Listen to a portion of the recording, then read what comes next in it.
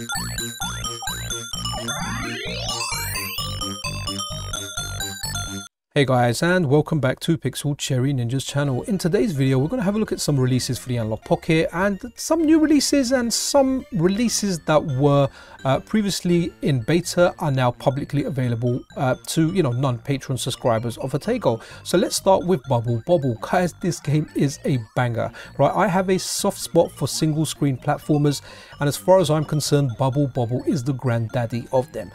Uh, from the time I was allowed out by myself you know not accompanied by an adult or my parents. Uh, this is one of the first games I used to watch and love in the arcade. I played it a few times and I used to watch a guy that was in a local arcade to me who was absolutely brilliant at this game. The guy pretty much used to 1cc the game absolutely amazing. And guys, the music for this, the soundtrack for this is one of the best gaming soundtracks ever. In fact, the main theme for Bubble Bobble is something that I rocked as my ringtone for a number of years. Now, the arcade version for me is always the best version, but there was plenty of good home ports for the, of this game as well. It also had sequels or even kind of like a spin-offs you could call them, right? Rainbow Islands, one of my favorite games, was uh, essentially the story of Bubble Bobble 2. Then we had stuff like Parasol Stars. I mean, the game's got the game's just had a lot of spin-offs. The Puzzle Bobble series, you know, if you want a puzzle puzzle game with the with Bub and Bob in there shooting bubbles, uh, matching colors, you have got that. Uh, most recently, I remember buying a title for the Switch. I think it was called Bubble Bobble for Friends. It was released a few years ago, but you know what? I've got a soft spot for this,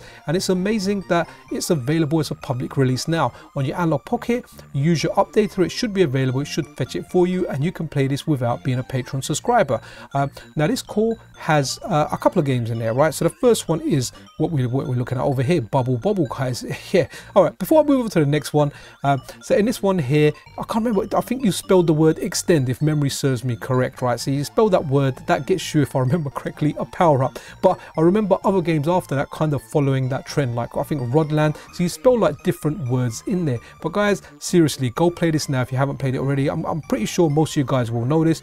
But uh, the Bubble Bobble series timeline, I'm just looking at Wikipedia here, right? So uh, this may not even include all the games, but 1986 you had Bubble Bobble, 1987 Rainbow Islands, 1991 Parasol Stars, 1993 Bubble Bobble Part 2, 1994 Bubble Symphony. That's a fantastic game. That's on the Taito F3 and currently available to play on the Sega Saturn if you don't have access to F3 hardware.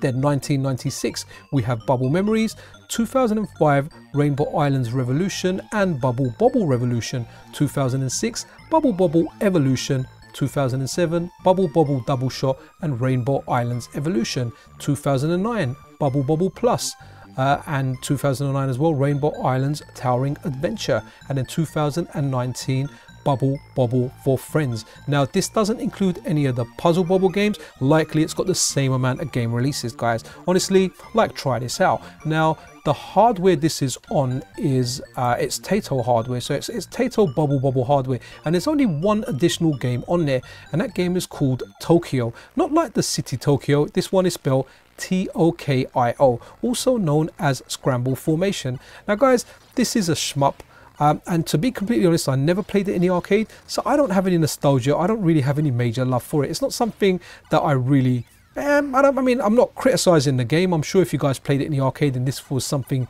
you played, um, you know, when you were young, you would like it. Personally, yeah, I don't really feel much for this. This is just a byproduct of Bubble Bobble. It's something that I would only ever boot up to shoot the shoot a video for, and that's it. I have no intention of playing it again. But don't let me stop you from trying it out. You know, what I like, you may dislike, and what you may dislike, I may like. Like, for example, I like Rastan 2, right? Everyone hates that game. I like it. So the important thing is, guys, we have got choices, right? Choices are important. And, you know, it's what you like is what you like. I tried getting on with um, Scramble Formation, guys. Really, it, it, just wasn't for me. It's a shmup.